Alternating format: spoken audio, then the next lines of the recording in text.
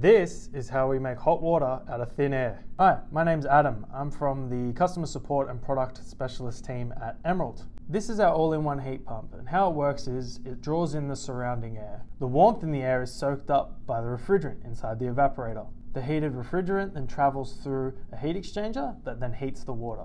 The heat exchanger is the coil that runs around the tank and heats the water. During this process, the heated refrigerant cools down and returns back to the evaporator to start the cycle again. This cycle repeats until the water reaches temperature. Thanks for watching guys and if you're interested to learn more please reach out to us and we'd be happy to help.